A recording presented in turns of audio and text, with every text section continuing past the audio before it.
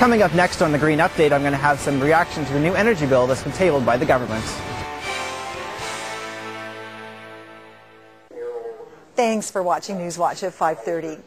Last week, Greenpeace Canada's executive director stopped in Peterborough, part of a 10-city Ontario tour to promote green climate solutions outside of the arena of nuclear power.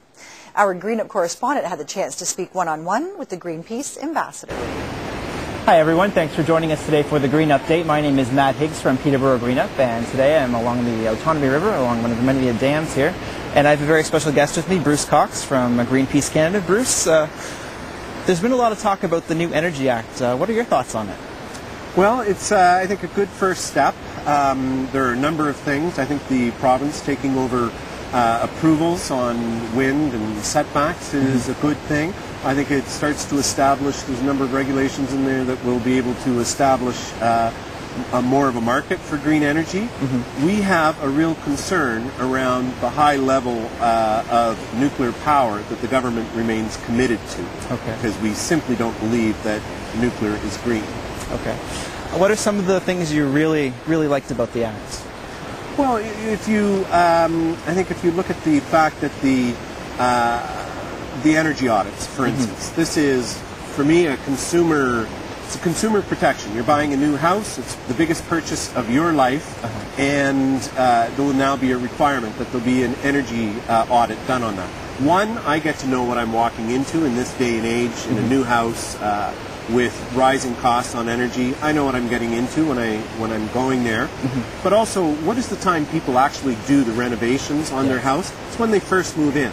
So they start off with a fresh energy audit and they do those really simple things that matter a lot when it comes down to um, you know improving our climate and mm-hmm. and I understand that there was a proposal that they're going to uh, do away with municipalities having control over new renewable energy sources and the government is going to have like one blanket legislation. What do you think about that?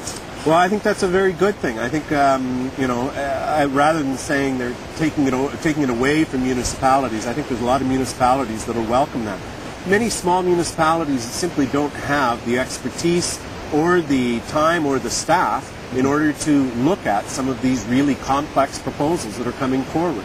I think um, you know wind turbines, uh, you know, are a good thing, mm-hmm. but you know they need regulation, and the province will be able to supply that. So rather than saying it's taking it away from communities, it's actually putting a resource back into communities that they can go to the province, and we will have a, you know, it won't be pitting one municipality against the other.